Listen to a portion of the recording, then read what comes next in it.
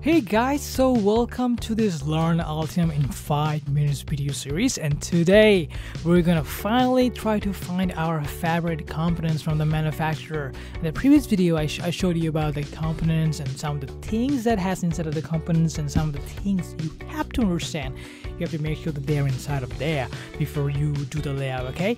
But today, today I am going to show you how you can add your favorite manufacturer part or your favorite component inside of your design. So all you have to do is first go to the our favorite panel. This is something we always like, right? And then you're gonna click on this manufacturer part search, okay? So once you click on here, you will see the same kind of window like we did before on our um, component video, right? And maybe there is some um, little thing you, you might just be very familiar about it as well. But we don't really care about anything. So I, I want to find something like a electromagnetic relay or things like that. So I will just click on here and then I'll see a lot of different ones there are all uh, lots of relays that I want to add to my design or things like that. And one thing I kind of want to tell you is that if you look in the left, it means this literally means this small things literally means. I mean that this one literally means is that it comes with a model, like it's saying it has a model. Pretty cool. That means you don't have to worry about the footprints. You don't have to worry about creating a models. It's automatically have created for you. And I believe it's because of the Octopart. And Octopart is a, a website that has all a good search engine for finding components from different suppliers.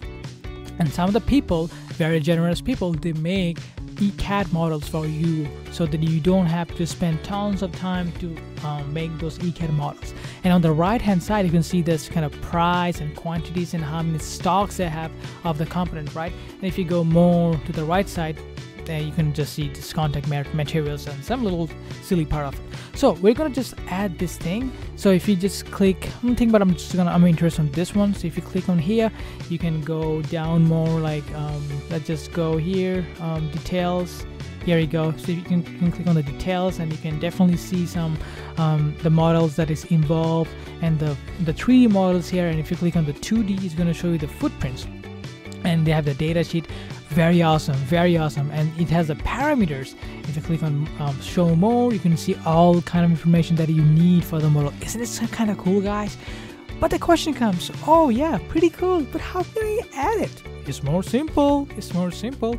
So what you're gonna do is you can you can either right click and if you if you do right click you have an option to save on your cloud which is a save to my workplace. And the second part is you can you can either download them as a file library. So it's kind of all up to you what you want to do with that. But personally i like that to save in my cloud so it's more easy. So what i'm gonna do is save to my workplace. Or else you can just like click here right? Just click here automatically it's gonna just take you there. And i'm gonna go to the relay section. And i'm gonna say yeah that's a relay yeah i'm gonna click on it and once i click on it you'll see this window this is a very important window and, and very awesome as well so things one thing I noticed that a lot of information are not included here because maybe they are not decided to include it or something. So if you want to add them, you can definitely just um, click on here and add some kind of values if you want to. But I don't really bother about it. And so I'm just going to leave the parameter as it is. And I can go to the model section. I just want to make sure that things are included, means added. So it seems like they are added already on the data sheet. They are also added. Very nice. And now I'm going to just click OK and I'm going to add it. And once I click OK, guess what? A win the same window we have seen before on the component remember? It just popped up. And and we already have verified our section. Now we finally want to use it, okay? We finally want to use it.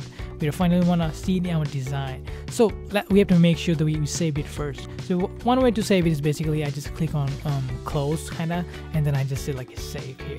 And once I do it, it's automatically saving. By the way, I got a, a warning. Well, by the way, it's not a, hopefully it's not an error because if it's an error, that things won't get saved and that's really pain.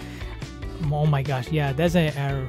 It seems like there's some kind of pin errors there hopefully it will allow me to use it. Maybe maybe i don't know. Let's see if it allows me to use it. So you have to make sure that there's no error and you have to kind of take care of it. But seems like it's already saving it. Maybe it's working maybe not. Depends. Let's see. So now that it's saved i guess. Try to see if i can place oh my gosh it worked! It's saved! So i can just like click here.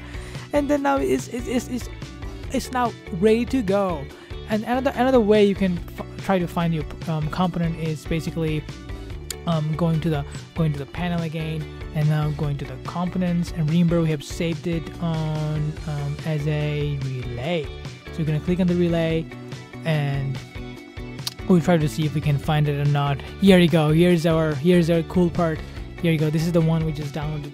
And now you can either hold this with your right or left left hand left oh my god i don't know what to say. Left of your mouse you can hold it and drag it to here right? So cool very cool. And you can double click there and just to see that if things that you want are here or not right? Seems like everything's looking pretty good to go. And and you can also like add, see the footprint if it's there or not. Seems like everything is working pretty good pretty good pretty good. So that's it. That's it all for the video. I will see you on the next one. And also please if you like the video subscribe